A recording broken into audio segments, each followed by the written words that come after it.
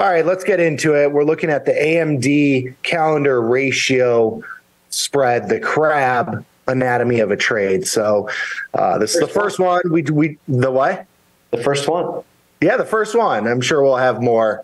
Uh, so this one was a ratio. I didn't have the defined risk on the upside. So what I did was the opening trade. I was looking in the June monthly expiration at 57 days to go till expiration. I was buying the 95 call, so closer at the money call. You can see the stocks trading at about 91.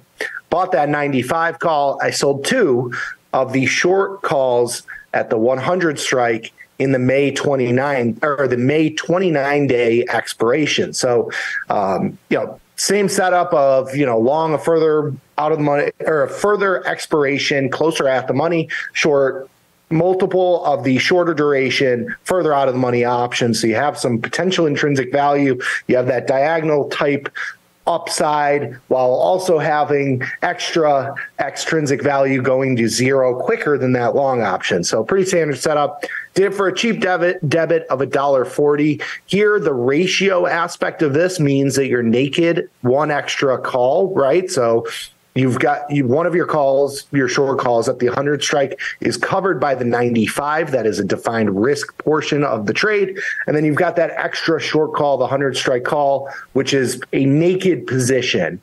If you want to do the, the more defined risk crab, you would be going and buying a further out of the money long option, let's say the 110 or 120 option in the May monthly expiration that defines your risk on the entire position um, and gives you that more of like a butterfly risk profile. So this one's more of a ratio profile.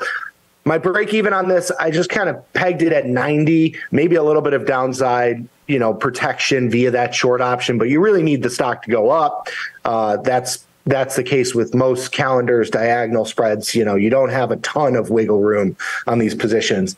I put the max profit here at around five bucks because that would be the max intrinsic value there minus the debit of a dollar forty plus some extrinsic value in the short in the uh, further dated long option puts you at about five bucks. So that's kind of just where I, I put those at. There's nothing scientific on those calculations. I just kind of eyeballed them and did it from my own perspective. So the adjustment I made uh, happened about four days later. The stock drops about four or five bucks.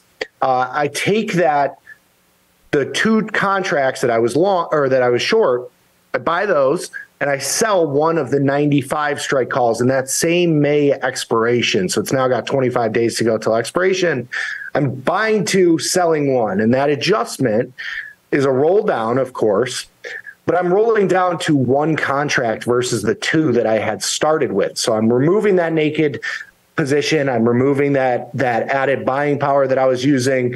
I'm co- collecting roughly the same amount of extrinsic value because I'm doing this for an eight cent credit. So essentially, this the breakdown of this trade is I'm selling one for the same cost of buying two of the the further out of the money strikes that transaction takes off a little bit of risk because I'm now not naked. But the caveat is that you lose that intrinsic value potential. You lose that $5 width that you can gain on the upside, that diagonal aspect of the trade. Now you're just a calendar spread, a very, very cheap calendar spread. And you've actually taken in and realized some extrinsic value, which is what we'll we'll talk about um, you know, on the next slides here. But uh, finally, uh, about a week later, so eight days, nine days here, the short call that I had rolled into is trading at 18 cents. So I just buy that call back. We've we've talked about this before of like, you know, why cap your potential upside, although the the potential upside is a low probability now because you see the stocks at 81. You know, why cut, cut uh, cap your upside at 10 cents or 15 cents or something like that? Does it make sense to do that? For me, it doesn't. I buy back that that call. I'm now just naked long the 95 call with 44 days to go till expiration. You can see the stock has dropped, you know, 10% to the downside. It's trading at 81. Now I need that reversal back to 90 and you know I that would be like kind of my scratch point over the next couple weeks. Luckily, we had the crazy move in AMD the next day where the stock went from 81 all the way back to 90 at a pop in volatility.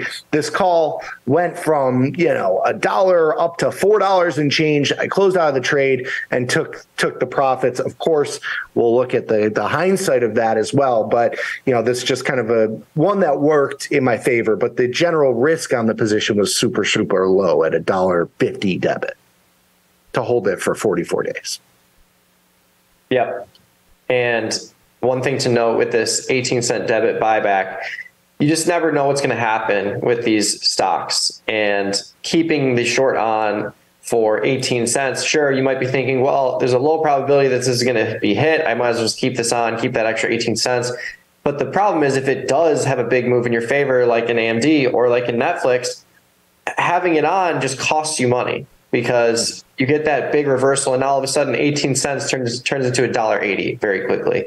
So it's think about it as the same as like, would you sell this to open? Would you sell an 18 cent option to open? And the answer is always going to be no. Uh, yep. So think about it that way too. Yeah. All right, so here's our visual just for the trade. You can see we started, stock was at 91, had the two calls further out of the money, further down the line. I roll down to that calendar spread. That's where they're on the same strike. Stock goes down to, you know, the mid 80s. It comes back up. Uh, and then I close out of the trade and, you know, we get that, that big down move to 81. That's when I close out of the, of the, uh, short option, the 95 strike short option. Then we get this massive rally back, all the way back, a V bottom, all the way back. And that's when I closed out of the trade. Now, I stopped it there and gave everybody the rest of the chart because obviously, had I held it, it would have been even more profitable. You can see the stock is now trading near 110, 105 ish, you know, hindsight 2020 type thing you look back and you're like, oh shoot, I missed out on another five bucks. But it's important to look at just what happened with this trade, which is what we're going to look at on the next slide with the long option. Mm-hmm. So when I open the trade, you can see the long option on the 20th trading around four to five bucks. I probably, you know, was I was kind of near the top tick of the day at like 502, I think was my cost.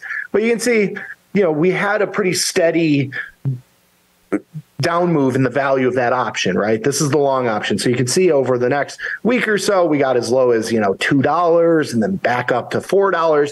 And then that big move down, the, the option was trading at about a dollar. Right. So the net trade, and if you remember through all my adjustments of rolling down the short call, I collected a tiny bit of extra premium. Uh, my whole trade had a net cost at around a dollar fifty total at the end of all the adjustments at this point, you got to kind of say to yourself, okay, am I going to close this trade, which is just the long call option now? Am I going to close this out for a dollar of extrinsic value and, and just realize a, a 50 cent loss, a $50 loss? You know, that's kind of the question that you, you have to ask yourself. And for me, it's like, why would I do that? Because I've only got 100 bucks in risk. It's a manageable amount of risk. I want that upside. You know, I'll take the chance over the next couple weeks. We of course get this move the next day, and you can see the candle here. You know, we go from that dollar because I think it happened like middle of the day. The stock did not open up uh, at that point. It happened like you know while I think while we were on the show or right before the show. Anyway, the option starts at a dollar. So, you know, I'm just sitting on my hands. You get this massive move, 10 points to the upside, nine, 10 points to the upside. The, the option goes to $4 and change, basically right back to where I bought it. And I've just got this naked long on, a couple hundred dollars in profit. I closed it out. Of course, you know, over the next two weeks, you get this massive rally to the upside, but there were a couple points through that move higher where this option wasn't more valuable than when I closed it. The next day, you can see it got back down to two, three dollars. You know, that's a hundred, hundred and fifty dollar swing. You could see, you know, May 13th and 14th, it got down to, you know, five dollars, like basically flat at those points throughout the duration. It's really, you know, now that it's gained so much intrinsic value that it's gotten much, much more valuable. But I'm just trying to point out that the the hindsight trade, it's you, you have to consider the other stuff that happened along the way as well. Indeed. And to your point here, why close it when it's only worth a dollar or so? Your risk is only a dollar going forward, and you can you can realize this big move to the upside.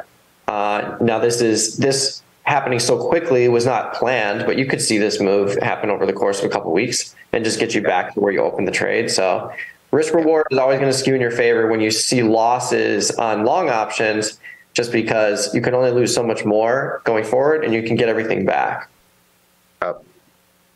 All right, and here's a breakdown of the transactions. So, you know, one thing that I was pointing out that I've mentioned a couple times throughout the segment is, you know, the long option that I'm trading, I'm trading it at basically the same value, right? I'm not looking for that option to go from from or at the time of closing, I wasn't looking at, at it uh, looking for it to go to ten dollars or eleven dollars, which it's trading at now. I was hoping it would get to three, four dollars, and I could take a little bit of profit out of here. It went to, you know, four dollars and thirty five cents. Basically, got back to flat.